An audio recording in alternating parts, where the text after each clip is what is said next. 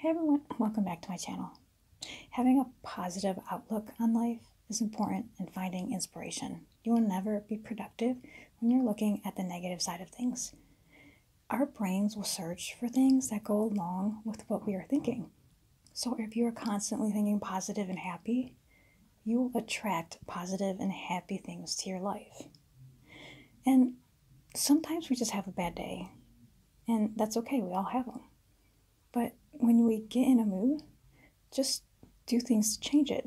Like look up inspirational quotes, read an inspirational book, watch an inspirational movie. Don't just sit there and mope. Life is too short to live like that. Live each day like it's your last day and get productive.